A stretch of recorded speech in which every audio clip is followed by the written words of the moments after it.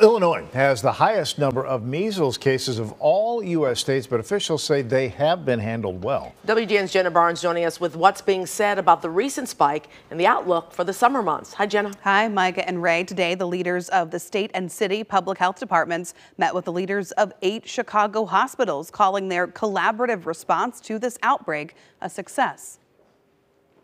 Hi, I'm uh, Sameer Vohra, the director of the Illinois Department of Public Health. The heads of the Illinois and Chicago Departments of Public Health taking a victory lap on their response to the ongoing measles outbreak. The response has been swift, um, and although more work needs to be done, uh, is continuing to show its effectiveness. This is a success story of how we were able to stop um, further spread of measles in a very challenging context. Nationwide, measles cases are already about double the total for all of last year, and Illinois has the most of any state with 64.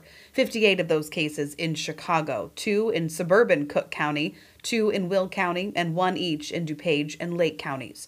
Many connected to the outbreak at the Pilsen Migrant Shelter, where public health officials say efforts to get people up to date on their vaccines are going well. We have at the moment um, touched every single shelter, got 100% of those who were exposed at um, the new arrival shelters vaccinated, and already started the second um, doses for them as well. So we feel pretty confident that those who are not vaccinated have received their vaccination and therefore are protected. And since CDPH began giving vaccine doses at the landing zone a month ago, Commissioner Olusimbo Ige says not one person has declined to receive it. We have rapidly increase the number of vaccinated people, so that gives us a level of confidence. Confidence heading into the summer, which last year proved to be the peak for asylum seekers arriving in Chicago, as many as 2,000 per week.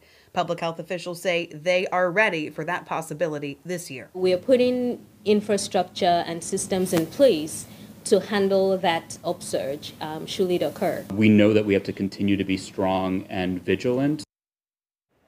Of course, because measles is circulating here, their message, their continued message, is to get the measles vaccine if you haven't already. Ray and Micah. All right. Thanks, Jenna.